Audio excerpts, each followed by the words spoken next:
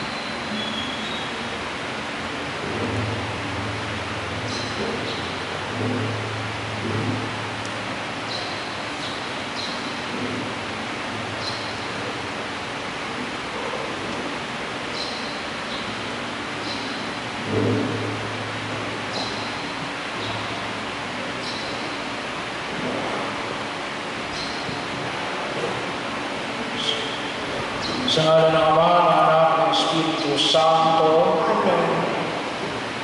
sumainyo ang Panginoon. At sumayon. Ang ikaapat linggo ng muling pagkabuhay ay tinatawag din linggo ng mabuting pastor. Ipinapahayag sa ating mga pagbasa si Jesus bilang tagapagsalita ng mga tubang ibinigay sa kanya ng Ama. Ngayon ibinandiriwang din natin ang pandaigdigang linggo ng panalangin para sa bukasyon. Manalangin tayo sa Panginoon na nagsugod nawa ng mga pastor, ng mga kaluluwa na tunay na mag-aalay ng kanyang kanilang sarili para sa kapakanan ng abang at mamumuno sa atin sa landas ng kaligtasan. Mga kapatid, tinitipon tayo bilang kaangin ng angka ng Diyos. Kaya dumulog tayo sa mga waing Panginoong nagpapatawad ng lubos. Sinugong tagapagpagaling sa mga nagsisisi. Panginoon, kaawaan mo kami. Panginoon, kaawaan mo kami. Dumating ng tagapaganyay ng mga magsisi. Kristo, kaawaan mo kami. Kristo, kaawaan mo kami. Nakalugtong ka sa kanan ng Diyos sa mga para ipamagitan kami. Panginoon, kaawaan mo kami. Panginoon, kaawaan mo kami. Awaan tayo ng makapangyarihan Diyos, patawarin tayo sa ating mga kasalanan at pagbabayan tayo sa buhay na walang hanggan. Amen. Papuri sa Diyos sa kaitaasan.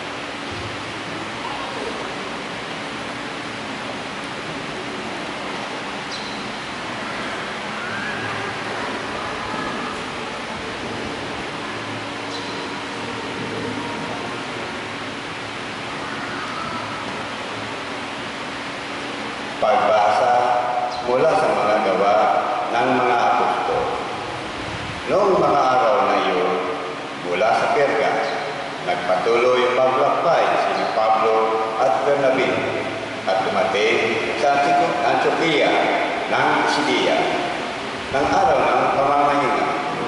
Pumasok sila sa sinaguga at naupo. Pagkatapos ng pulo, sumunod kina Pablo at Bernabe ang maraming Hudyo at mga naikaya sa Judaismo. Nagsalita sa kanila ang mga apostol at pinangaralan silang magpatuloy sa pamumuhay ng nararapat sa kagandang loob ng Diyos. Nang sumunod na araw ng pamamahinga, halos lahat ng tao sa lungsod ay nakatipon upang pakinggan ang salita ng Diyos. Inggit na inggit ang mga Hudyo nang makita nila ang maraming tao. Kaya nilait nila at sinalungat si Pablo. Ngunit buong tapak na sinabi ni na Pablo at Bernabe, sa inyo muna dapat ipahayag ang salita ng Diyos. Yaman, itinatwid ninyo ito. Tinatulan ninyo ang inyong sarili na hindi karapat-dapat sa buhay na walang hanggan. Kaya pupunta kami sa mga hintil sapagkat ganito ang inutos, inuutos sa amin ng Panginoon. Inilagay kita na maging ilaw sa mga hintil upang maibalita mo ang kaligtasan hanggang sa dulo ng daigdig. Nagalak ang mga hintil nang marinig ito at nagpuri sa Panginoon dahil sa salita niya at sumampalataya ang mga hinirang para sa buhay na walang hanggan. Kaya lumagana sa buong lupain ang salita ng Panginoon. Ngunit sinulsulan ng mga Hudyo ang mga babae sumasamba sa Diyos at kilala sa lipunan. Gayon din ang mga lalaking pinuno ng lungsod. Ipinausig nila sina Pablo at Bernabe at pinalayas sa buo sa lupain iyon. Kaya ipinagpag ng dalawa ang alikabok kanilang mga paa bilang saksi laban sa mga taga-roon. At sila'y nagtungo sa Iconio. Ang mga alagad naman sa Antioquia ay natigil ng gala at napuspos ng Espiritu Santo. Ang salita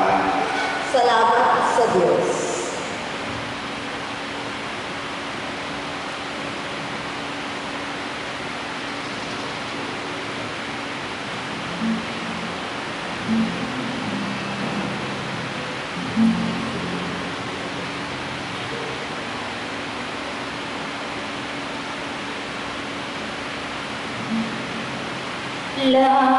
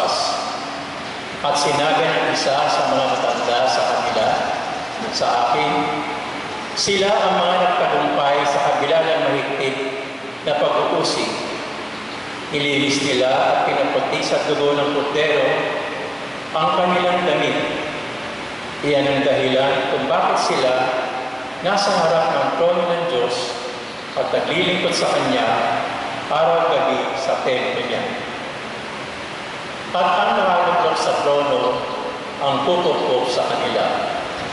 Hindi na sila magugutom o mabubuhaw. Hindi na sila mabibilad sa araw o mapapaso ng anumang matinding init. Sapagkat ang kordero na sa gitna ng trono ang magiging pastol nila. Sila'y dadalhin niya sa mga bukal ng tubig na nagbibigay buhay at papahirin ng Diyos ang luha sa kanilang mga mata. Ang salita ng Diyos. Salamat sa Diyos.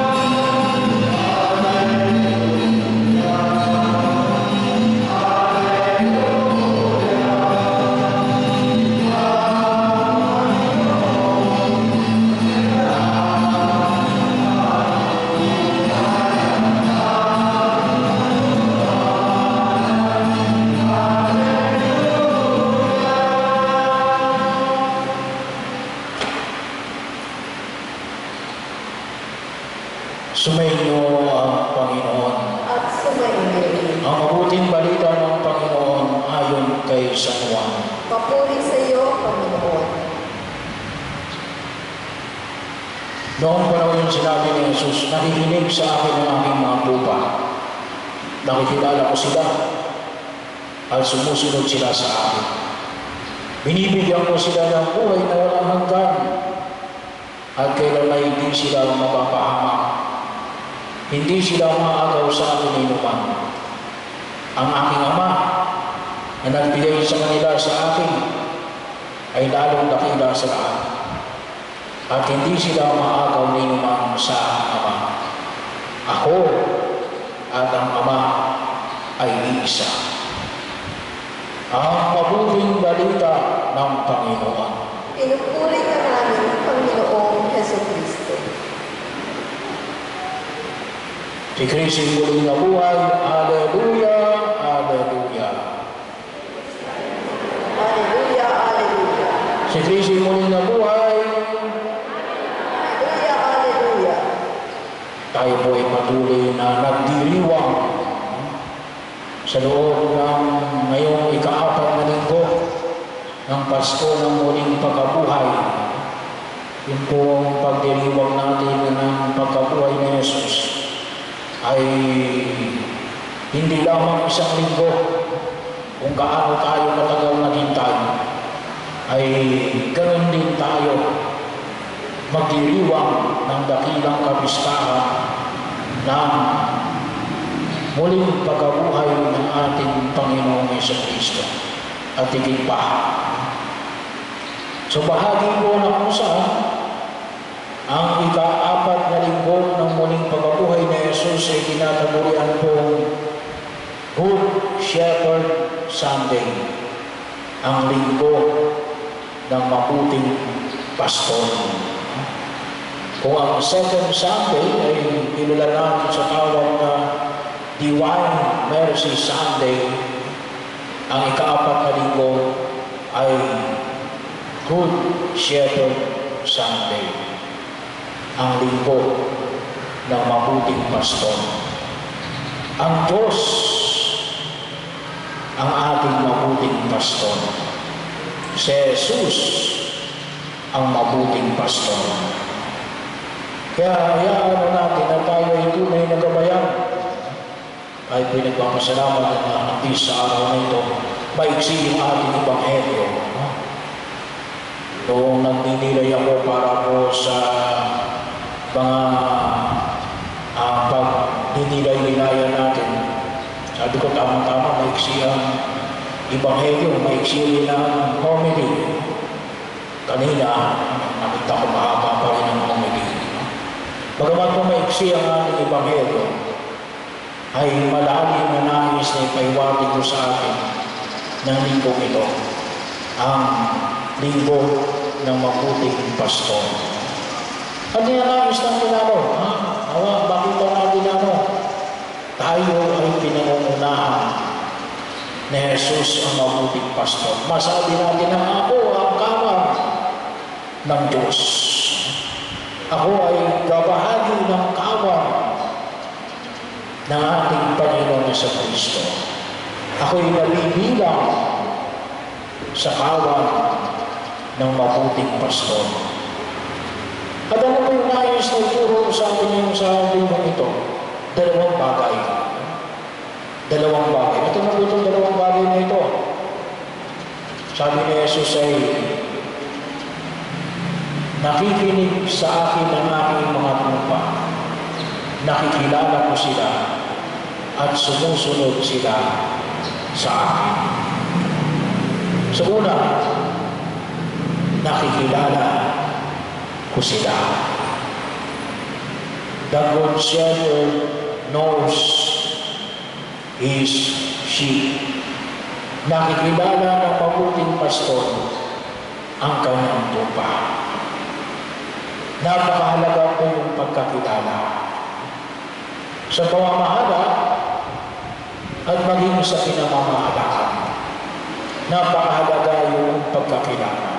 Kasi bahagi yun ng pagtugon na ah, paano ka mapamamahalaan yan, hindi ka na magkilala. Papawa yung pagkilos. Hindi naman alam niya yung tunay na sitwasyon na pinabibilangan ni hindi na alam ang yung damdamin. Ito rin po kung minsan ang ang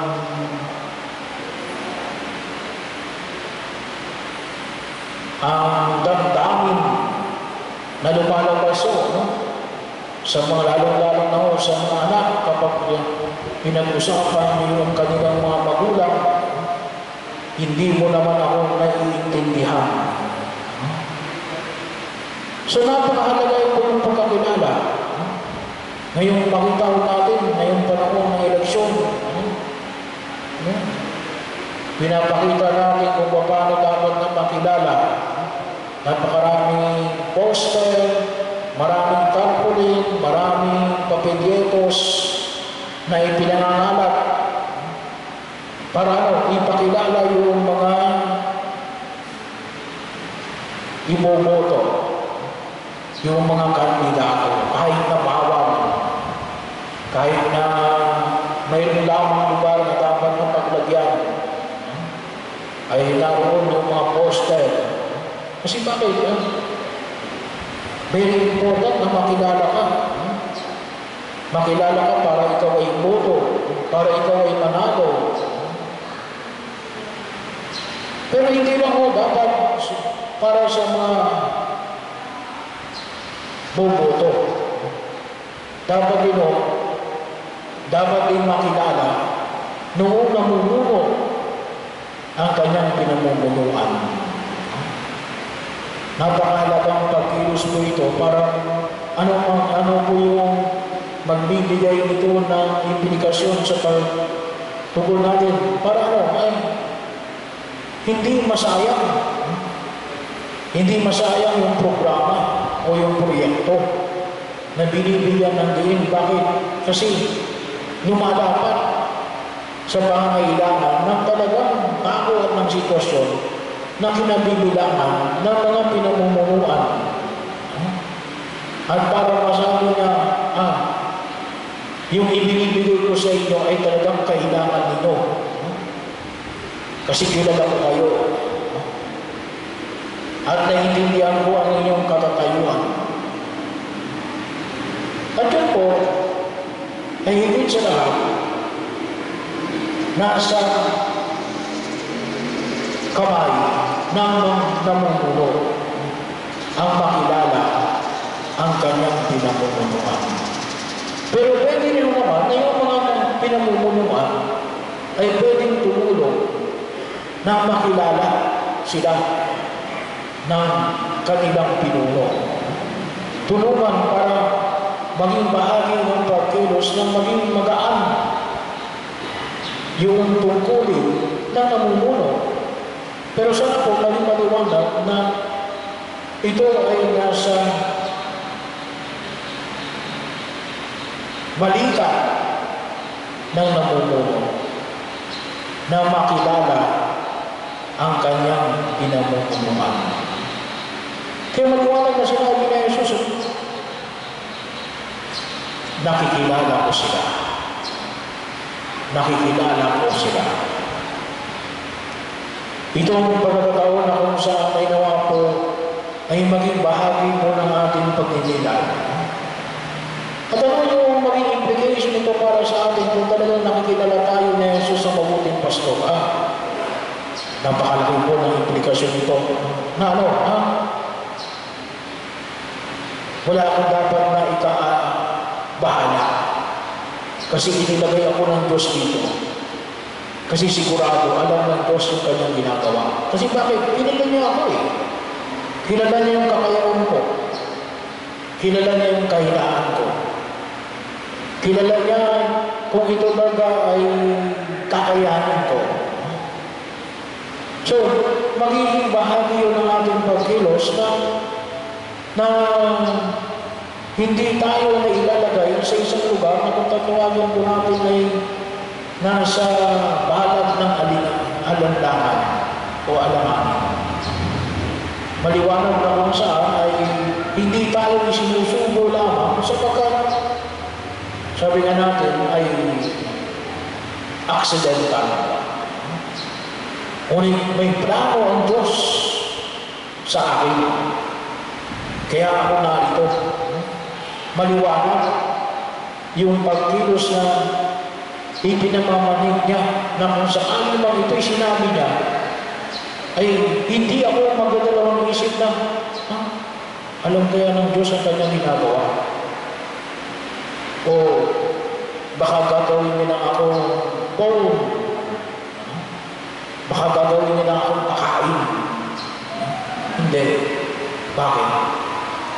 kilala niya tayo. Kilala tayo ng Diyos. Pangalawang bahagi. Siguro sabihin natin, ay kilala pala tayo ng Diyos, eh bakit kumisan nagkakawindang-windang pa rin yung buhay natin? Bakit may mga dumarating pa rin sa ating pagkilo sa daigdig na ito na hindi ka nais-nais? Sige, pangalawa po kasi ay yung pangalawa.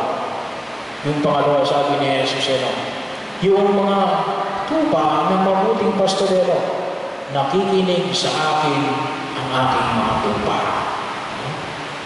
Nakikinig sa akin ang aking mga tupa.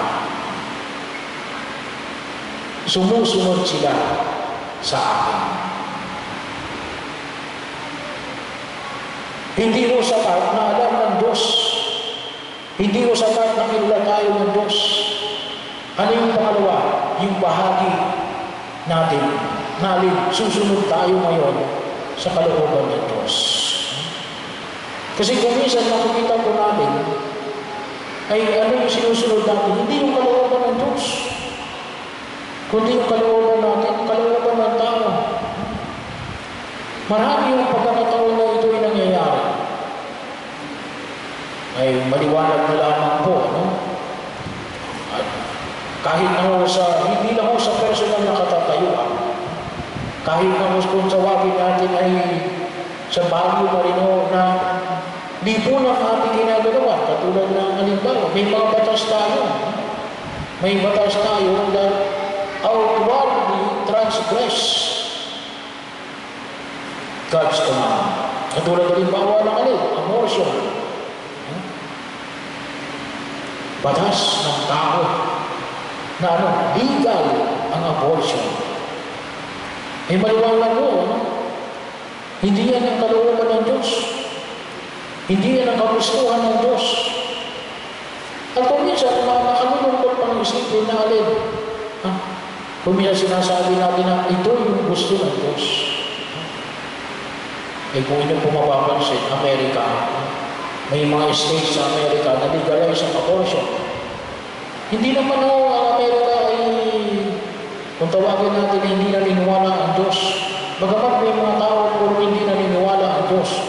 Pero predominantly, ang Amerika ay Protestant, Christians, hindi na lang Katolik.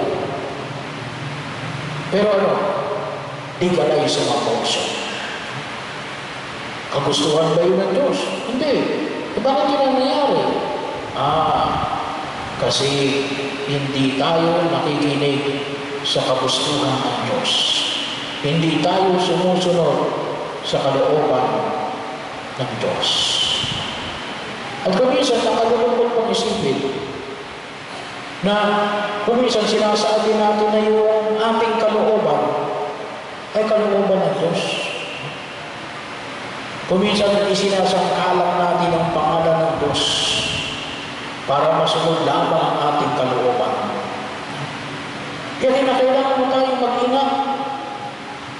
Kasi baka mamaya makikita natin na yung ating palang ginagawa ay ang kalooban natin, ang kalooban ng tao, hindi yung kagustuhan ng Diyos. Hindi tayo nagiging kawan ng mabuting pastor kapag yun ang ating ginagawa. Kasi maliwanag, nakikinig sa akin ang aking mga tupa. Sumunod-sunod sila sa akin. Bahagi nung nakunta ay tayo ay tinatawagan ng may kapal sa ganitong klase ng panyaya. Kaya napakahalaga. Napakahalaga na makinig at sumunod sa kalooban ng Diyos. Ngayon, ano malaking pag, pag-amo ng iniwanan mo sa atin ng buong kapal? Paano natin masusunod yung kalooban ng Diyos? Paano natin pakikinggan yung kalooban ng Diyos? Tama-tama ho. Yung po nakalipas ng mga araw, sabi mo po, mula itong Martes hanggang Huwebes, ay umaten ako ng Summer Catechetical Institute for Peace. At yung tema na binigyan pansin ko dito Kasi ito po ang ating pagdiriwang ng Year of Mercy, Year of the Family, Year of the Holy Eucharist. Kaya po noong January nagkaroon tayo ng Eucharistic Congress, International Eucharistic Congress, on the national level. Ito po tatlong ito ay pinagtagni-tagni ng Catholic Bishops Conference of the Philippines sa pamamagitan po na ah, presidente ng Catholic Bishop Conference of the Philippines, si Bishop, Archbishop So, Villegas, na pinamagatan niya na para ito ay mabigyan ng higit ng pagkilos, pinamagatan niya ito sa kanyang pastoral letter. Na alin, on bending knees sa nakaluhod. Kinakailangan tayong lumuhod. Kinakailangan natin i-bend natin ang ating mga knees. Kinakailangan natin lumuhod. Bagaman po yung tema na ito, no, na isang paghahamon na ito, medyo malawak, pero hayaan niyo po na no, kapag sinabi natin ito po yung pastoral letter ng Ca- Catholic Bishops Conference of the Philippines President, Archbishop Sok Villegas, na kung saan ay tayo ay nahamon na higit natin Panginoon, isama na rin natin yung ating pagdiriwang ng 50 years ng diocesan uh, Jubilee Year on bended knees. Paano ba natin malalaman ang kalooban ng Diyos? Lumuhod tayo, magdasal tayo. Nakalimutan na natin ngayong magdasal. Nakalimutan na natin lumuhod. Hindi na ho sapat na pumunta tayo sa simbahan, pero kinakailangan natin maglaan ng panahon na talagang lumuhod tayo at tingin natin sa pumikaba. No? Marami yung mga bagay, yung mga, yung mga pagkakataon natin. Alam nyo, noong panahon, year, sabi tinatanong, gusto mo talaga, ano ba talaga yung gusto ng Diyos? Ano ba talaga ang gusto ko? Magpapari ba ako? Ay doon sasagutin ng Diyos.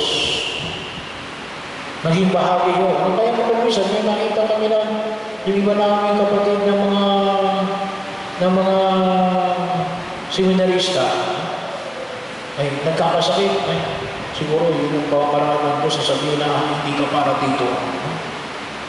So, may maraming pamamaraan pero parang kinakailangan, kinakailangan natin lumuhod. Sino ibubuo ninyo na pamumuno ng ating bayan, ng ating bansa? No? Tanong natin sa Diyos. No? On bended knees. Hinihiling na lumuhod tayo. Lord, sino ba ang gusto mo na mamuno sa amin? Saan mo ba kami dadalhin? Kasi maliwanag ko, no? kilala tayo ng Diyos. At kinakailangan makinig tayo sa Kanya. Pero hindi natin mapapakinggan kung ano yung sinasabi ng Diyos kahit na sumigaw siya kapag tayo ay hindi nakalugod. Kinakailangan natin yung kababaan na makita yung kanyang pagkilos sa daigdig na ito. Kinakailangan na patuloy tayong magdasal. Sabi nga po noong mga miyembro na na mga kapatid natin na adorasyon nocturna. Sabi nila yung aspergas na dapat sa September. Ginawa na ngayong Mayo. Itong, itong approve pala. Ginawang approve para ano? Para ipagdasal yung darating na eleksyon. So, ano? Para lumuhod para sa isang mamayamang eleksyon. Kaya napakahalaga po. Siguro po sasabihin natin ay ay wala naman tayong ginagawa. Paano ulunlad ang bansa? Nakalugod ka lang.